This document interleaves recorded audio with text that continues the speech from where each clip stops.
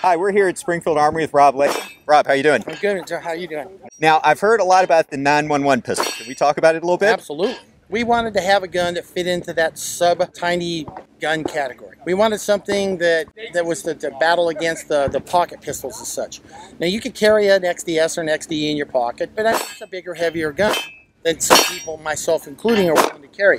When we decided to build a little gun, we wanted something that was going to be shootable. I think one of the things we we take a lot of pride in is that we put good good sights and good triggers on all our guns. We want it to be something that you don't carry in theory and never want to shoot is that you carry it because from experience you know it shoots well. Uh, it takes a lot of design cues as far as just visual features from our XDS line, but in reality, this is not what we would call new technology, which I think is really good because I'm an old guy.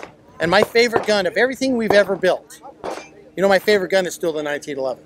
Mm-hmm. And there's a reason for it. Some of the features that make me like it the most are things like a thumb safety, great trigger pull, and familiar ergonomics.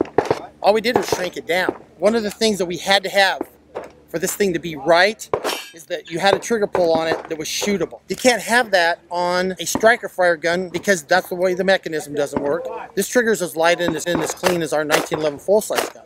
And that makes the shootability factor go through the roof. And that's what I love about it. There's no learning process for somebody that's used to a 1911 to use this gun. Everything works the same. There's Mhm. a thumb safety and there's a nice clean trigger pull. For a closer look at Springfield Armory's 911 380 pocket pistol, see Mike Humphries exclusive in AmericanHandgunner.com. And that's your quick hit from FMG Publications.